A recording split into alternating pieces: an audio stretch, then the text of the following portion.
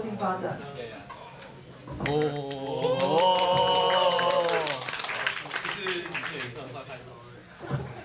就是这是新闻小帮手嘛，就是从最下面部分我们可以看到，它是民国一百零二年 GV 台湾籍政府热血出品。好，然后因为之前跟 GV 有些合作的 Lee Berry 有提说，哎，能不能就是他想要把新闻小帮手引到美国去？那我这边就说，那好，那这次黑客松就来做个国际版好了。所以就想，那今天早上我就，我现在早上没有提案，因为我觉得只是翻译而已，这个要讲五分钟我也凑不了那么多话。所以我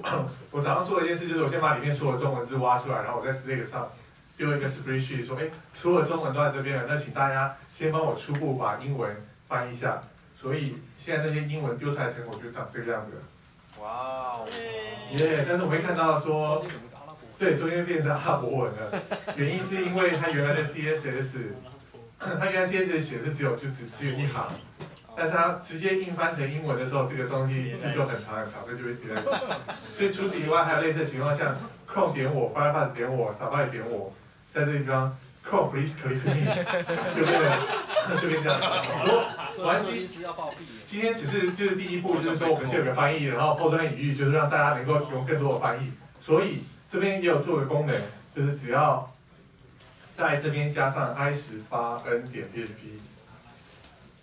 然后这边就可以自行，就是你可以自己打一个翻译，例如说我这边 please 呃 please kick me 就可以打成然后这边可以自由乱打没关系，因为不会影响到别人，只会影响到自己而已。然后，其实我这样点下去储存后，然后我再回来看，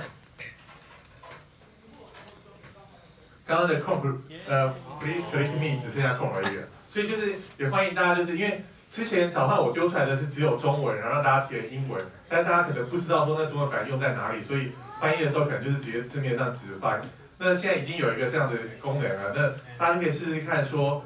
自己觉得说，哎，原来的翻译可能这个地方不太恰当，或者是说这个长度可能太长，是短一点的，就可以来这个页面先自己试试看。那试了觉得没问题的话，那可以再回头到就是我今天在 Slack 上面丢的那个 spreadsheet 的 spreadsheet 上面，就是换成比较更适当的英文。那这样子的话，我们就可以让那个宣传网真的就是变一个很好很好的英文的界面了。啊，他不会自己过去哦。他不会自己过去，因为还是要我这边手动做。所以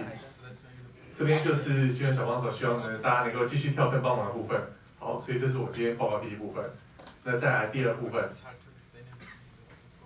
第二部分是那个立法院有一个，立法院有一个 MISQ 点。